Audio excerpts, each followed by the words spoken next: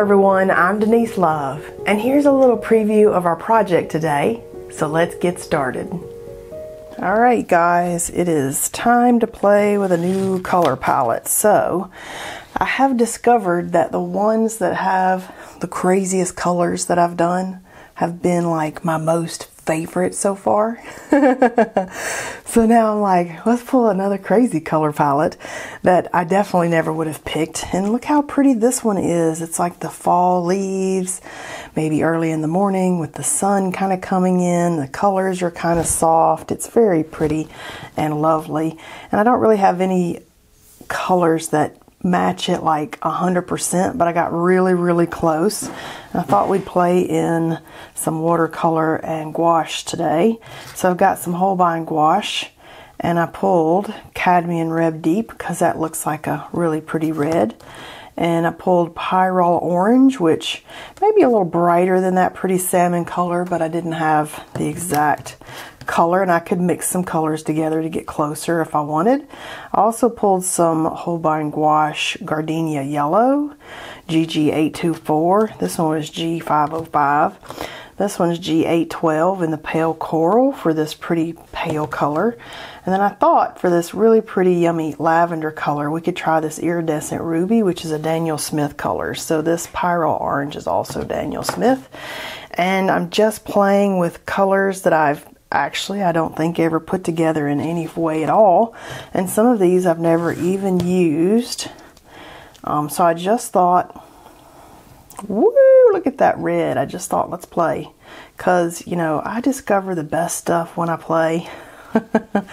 some of these things have just been crazy. But man, they've been amazing. Like, amazing. Okay, so I'm putting down the little gouaches first. Oh yeah, those are crazy, crazy. Oh, such bright loveliness though. We're just going to see what we get. oh, so this iridescent ruby is so pretty on there.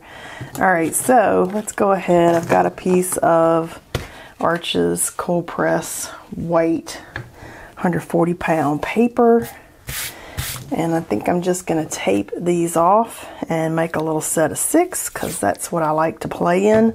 And this color palette is number 140 from Color Cube Deck 1 by Sarah Renae Clark. And then make sure you check the description of the video. I always put the supplies and links below the, the video for you so that you can check out what I'm using.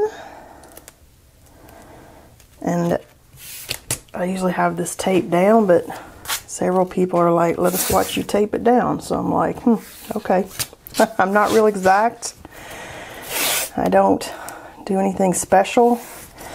I don't really even measure it off any more than just to kind of get an idea of where the center might be. But other than that, I just eyeball it and just go for it. Because really, these are these are these don't have to be exacty. Exa what am I sticking to? Sticking to something over here. These don't have to be perfect. I'm not looking for perfect. I'm just looking to play. And if I create something amazing, then that's a bonus. So let's do like a little set of six today. And let's just see what we can make today. Oh yeah, so you can see those are not exact at all, but it's close enough. It will get us started.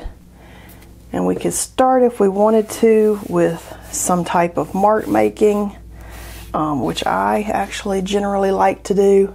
Um, and you can do that with pastels, you can do it with a piece of graphite, which I actually like doing that mostly with uh, graphite you learn to kind of dis discover like what can you put on top of what else? Because if you started this with say the crayons or the pastels you really need them to be something like the Neocolor 2 pastels because um, they're water soluble and at least then anything you put on top of it would still go on top of it. But if you started off with say like oil pastels you know nothing you put on top of that is going to stick. So you have to be thoughtful about the colors and the, the types of products that you're using and piling on top of each other. Okay, so I'm gonna start off here with a gouache. Let's see, let's start off with this pale coral.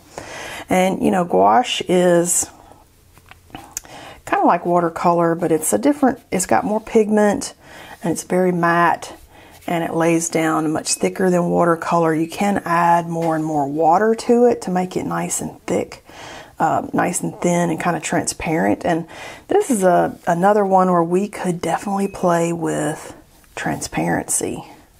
How thick and thin can we get these to see, you know, what transparency can do for us in a composition and to play. So we're just to start laying these down. And if you've got a color that you don't love in your palette, try to at least do a dot of it somewhere. Like rather than saying, "Ooh, I don't like this color, I'm not going to use it," try to use it last and use just a tiny bit of it. Use the colors that you're like, "Ooh, I like all these." Use those first, and then save the the least favorite, which for me probably is that yellow. just not. I like the uh, the yellows that are warmer and they're not so lemony and bright. So I didn't go with the lemon yellow gouache. I went with the uh, other color, whatever I said that was. What was that? The gardenia yellow gouache because it was a softer, less in your face yellow. All right, let's go with some of this red. Let's just, whoa, look at that. And we could come back on each of these. Like I could work each one separately. I don't have to work them all six at the same time. But I kind of like building each one and discovering something and being like, oh, look what that happened there. Let's see on the next one what that's going to do on the next one. So I like building all six at the same time. Usually the first one might be my test and what I'm discovering things on, and then as I'm going, they get better and better. But I don't know, sometimes you get surprised, and the very first one you did is your favorite. And if you're playing in opacities, then definitely vary the thicknesses and the water amount that you're putting in these, especially with the gouache because um, then you'll have some really solid areas and some really transparent areas. That's always fun. And I'm just putting these on with my Raphael Zero Soft Aqua Quill Brush. This is my favorite brush. I like these little quill brushes. I think I just spread red everywhere.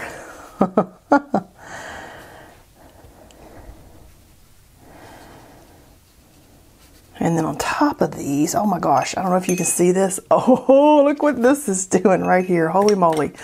This one, look at this. It's kind of spider webbing into the other color. How cool does that look? I love watching paint blend and merge and kind of do its thing. Let's go in with some Daniel Smith, this orange one, and just see.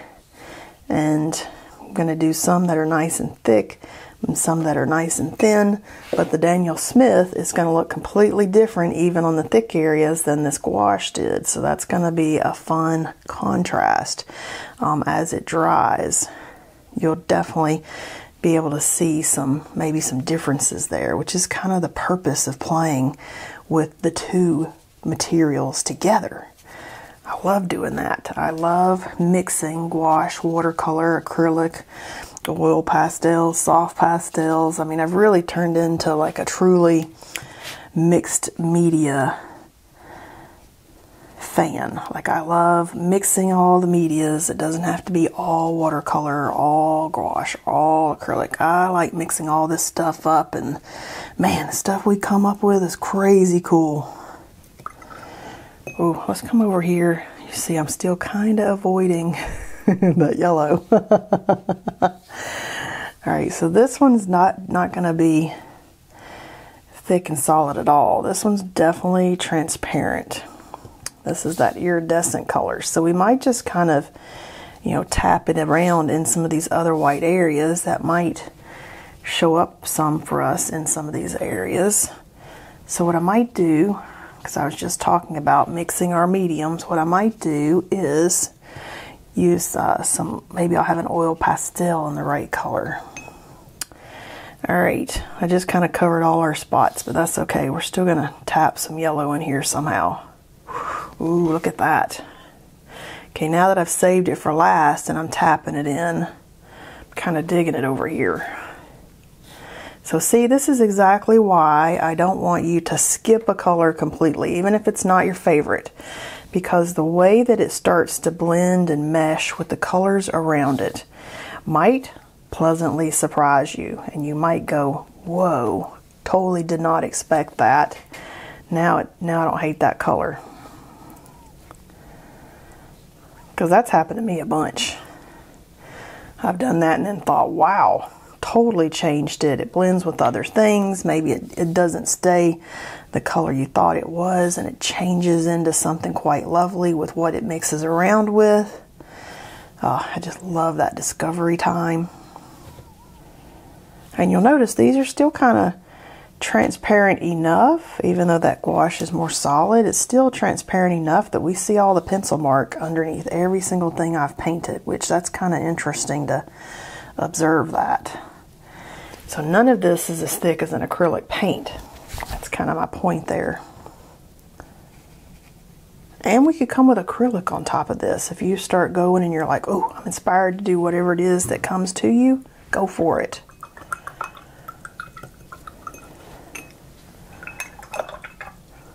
Alright, so I think I'm to let this dry. And then we're going to evaluate what we want to put on top of these. So I will be right back. Alright, these have dried up really nicely. And I have, I'm obsessed with the drawing with little circles and stuff in acrylic paint. So I've got um, some acrylic Artist Loft paint in terracotta, which is kind of like the lightest color on here. Maybe a shade different, but it's really close. And then I've got some Blick matte paint in orange deep. And then I like to circle these little circles with oil pastel. It all of a sudden is like one of my favorite mark making things is to just do some mark making with acrylic. It doesn't have to be circles. You could do other shapes. I just happen to love the round circles and these are easy to make with this Princeton Select round blender brush. It's a number six and it really is like a drawing tool um, in my hand with the acrylic paint. Making some circles, you could do lines, you could do dashes, but I'm kind of feeling I'm in my circle phase. And so I just want to play and add some marks at this point really. But I'm going to start with some acrylic paint and favorite mark making. Whatever that favorite mark making is for you, do that. Figure out. And how do you figure that out? You, you paint and practice and play a lot. This is why I love to play on these videos and just bring you along on a play session because I don't think people play enough. I don't think as artists we're taught to play an, an experiment, or if you're just learning, you're always watching artists who are already, you know, very far along in their game of creating things and you feel like, oh, I need to be right there. And how did they get there? Well, at some point, they had to learn how to experiment and play and figure out what they like. And maybe for some that was when they were children. Um, but some of us come to come back to art later in life. Like I did art in all of school and in college, along with the the design and drafting work. I took art classes, and you know they teach you the basics, how to draw and how to look and see and art history and stuff like that. Did they, any of them really talk about play and discovery? Not really. Not that I remember.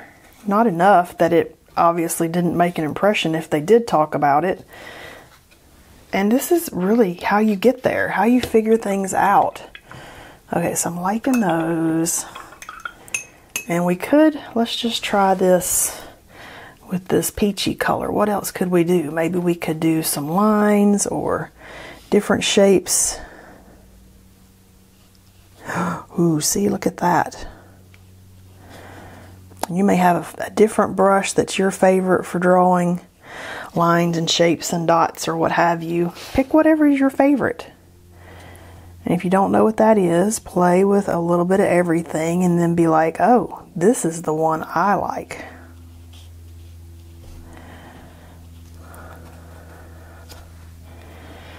Okay, so I'm loving, loving this little bit of stripe. And I could do this with a square brush. That would have been a good choice. It's all about just play and being like, oh, what if I did this? Or, ooh, look what I discovered. This would be the perfect time if you're inspired to do botanical drawings and stuff like that. Botanical work on top of that would be crazy good. All right, now I'm kind of thinking, like, what do I have over here that is this yummy purpley color? There's several in here that are kind of lavender that are real pretty. Like, is this one too dark? It's pretty dark. I almost want it to be a shade lighter. Maybe this one. This is my own personal preference, but man, I like it when the color has a really cool contrasty color on the outside of it, which is why I circle these circles in another color. It's just so cool. I'm sure I'll wear out of this little phase. If I stop painting for a week or so, like I get ahead on my videos and I stop painting for a week or two, I come back with a totally different perspective every single time, and then the next set of whatevers is completely different. I had somebody mention on one of the videos this week that some of these had gotten really a whole lot busier than some of my other YouTube videos. And I'm like, I know, right? I go through little phases where I get really minimalist or I get really maximalist.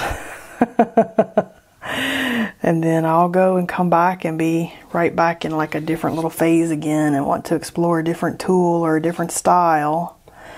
And I love that. I love that play and exploring. And I want you guys to start learning to play and exploring. This is a fun color. Let's do this. So the videos that I make this year probably going to be totally different than the videos that I make next year and the year after. We're just going to have a big hodgepodge collection of interesting whatever I happen to whatever rabbit hole I went down.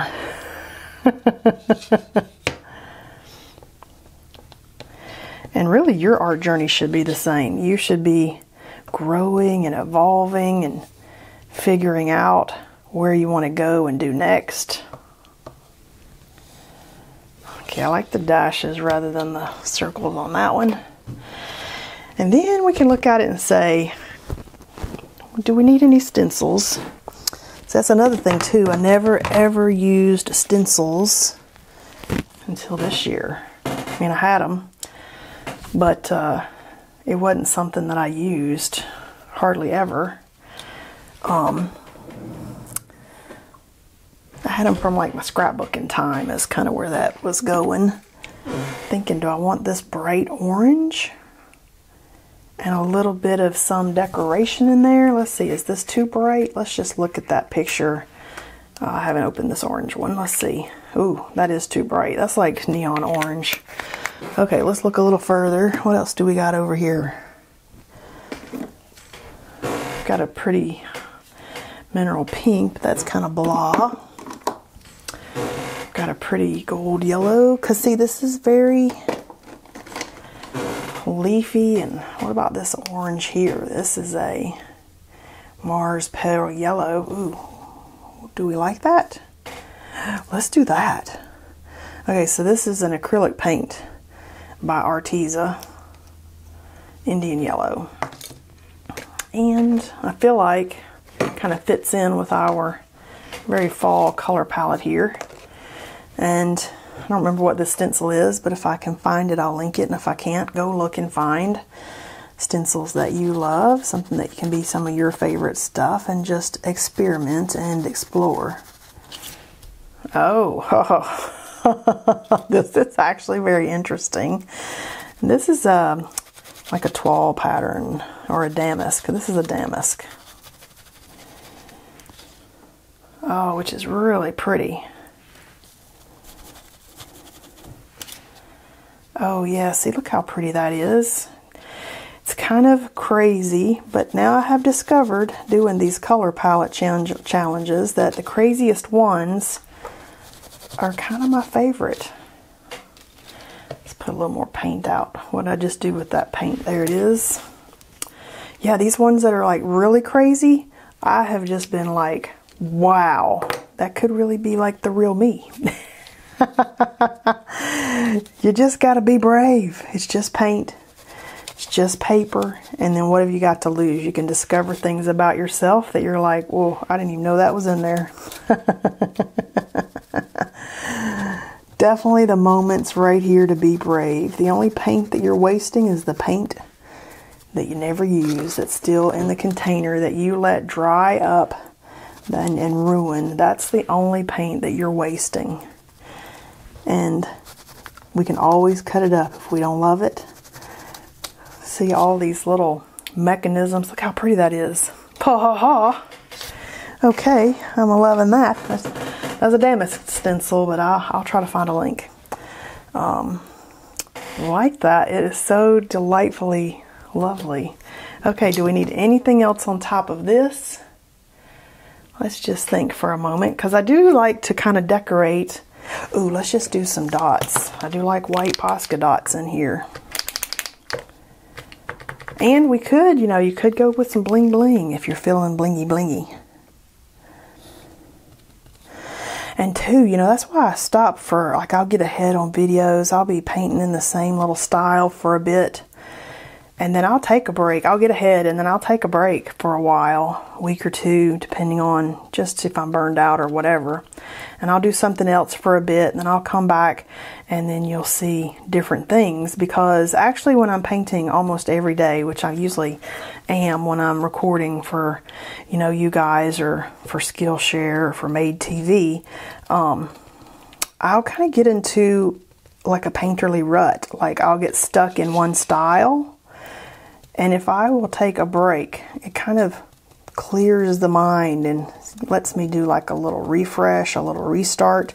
And then I can come back and start again and be like, oh, where do I want to go now? Like it just kind of frees up my mind of wherever I was getting stuck. And then I binge watch some TV. I like watching mystery shows.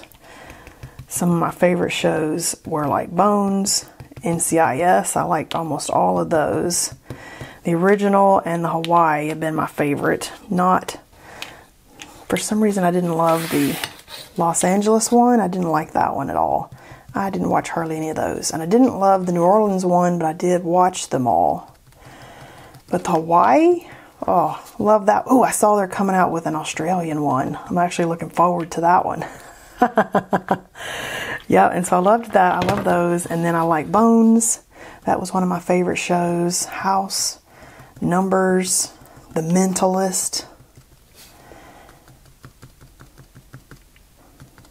White Collar. Oh, loved White Collar. That was a good one.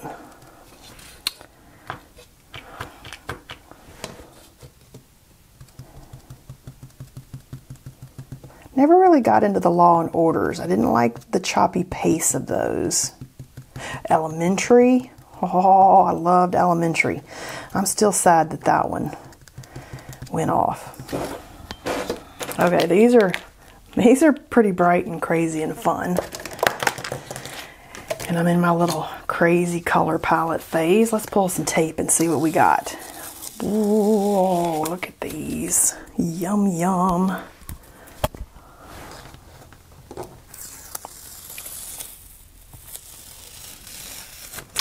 And I'm using artist tape. And the artist tape on this cotton paper just comes off so beautifully. And it usually gives you really sharp, crisp lines uh, because it was formulated to work with wet mediums like um, watercolor and stuff. Whereas if you're using something like a washi tape, which I know a lot of people use, Um, it doesn't really stick and give you fine as fine a lines a lot of times. That's why I don't use washi tape. Besides, the washi tape is so pretty that I almost feel like I'm ruining it if I paint all over it. um, yeah, so I've gotten to where I really like painter's tape and artist tape. Look at these. These are so bright. Kind of wild. And I'm going to cut these up and see what we got. It's my Fiskars paper cutter. Somebody always asks, what is this? All right. Whoa. Look how bright and pretty these are. This was a bright, happy day. And look at that with our color palette card. How do we do? So a couple of these I like love, love. Like I love this where it's kind of going down when you're looking at compositions now. I like the movement as it's going through. I really love this one. This might be my favorite. I like this kind of is sitting to the side. I like how the damask stencil kind of came in from this direction. And another thing that I really started really liking to do is taking um, a little bit of oil pastel in like a contrasty color um, and doing a little mark making on top of the stencil to almost make it three dimensional so you could come back and just add that little extra mark on the marks that are already there and it just makes it look less like a stencil and more like something that you've painted and that has some dimension and it all of a sudden turns into so much more. I like the little extra artist touches that we can start doing as we think of them when we're creating like this. So it's not something that's going to be super obvious. If you look at it from the side though, you'll be able to see that there's a little bit of extra dimension in a piece when you do something like that. So it's not like I'm trying to like suck you in the face, be obvious, but I am trying to add something extra that's like, oh, it's not just a stencil. And I love that. okay, so we're going to say that's probably my favorite at first glance here. Oh, no, maybe I like this one too. So these two, I would maybe come back with a couple finishing touches. You know, I did little marks on the flower stencils and that's when I'm like, oh, look how much better those look with the extra little mark making in that stencil work. It just turns it into so much more than a little bit of paint that you slopped on there. Okay, so these two are my very favorite today. So just a couple favorites make every day a good paint day. I hope you enjoyed this color palette challenge. I can't wait to see what you do with these, card 140. And I'll see you next time. And if you want to show me what you're working on, definitely tag me on Instagram at Two Little Owls Art. And you can join the Facebook group I have for Art Peeps. I'll link everything below in the video. And if you love these videos, hit that subscribe button. And I'll see you next time.